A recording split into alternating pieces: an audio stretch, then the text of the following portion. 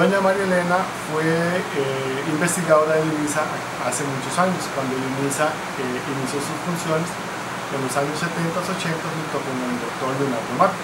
Entonces la intención de nosotros es, primero que todo, felicitarle por eh, esta, este puesto en el cual ella, ella está actualmente, que es la ministra de Salud, y además para darle a conocer lo que es el INISA en la actualidad. La idea es que ella conozca en detalle qué es lo que está haciendo el INISA en estos momentos y ver de qué forma pues nosotros podemos ayudarle a ella en la labor que ella va a hacer para ver si podemos establecer algún convenio o, algún proyecto incluso que se pueda realizar en colaboración con el Ministerio de Salud. Bueno, por lo, por lo visto, por la lista de,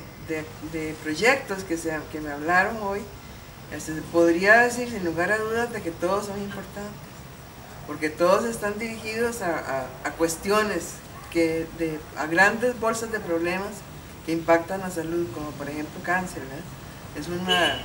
es una, una entidad patológica que implica muchísimas cosas dentro de esa, de, esa, de esa, palabra. Bueno, la idea es que no solo con el INISA, sino que la universidad se vuelva una, un factor importante en, la, en, el, en, en los programas y en, en el quehacer de la salud pública en el país. De hecho, hay dos proyectos importantes, uno que es sobre dosimetría, que eh, pues podría eventualmente eh, servirle mucho al Ministerio de Salud.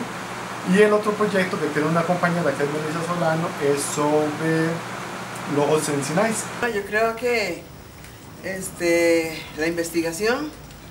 tiene que sostener, es la base para las acciones de salud pública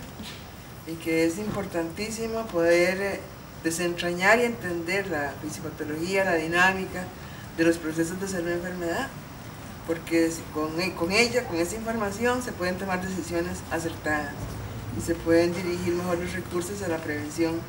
y a la promoción de la salud.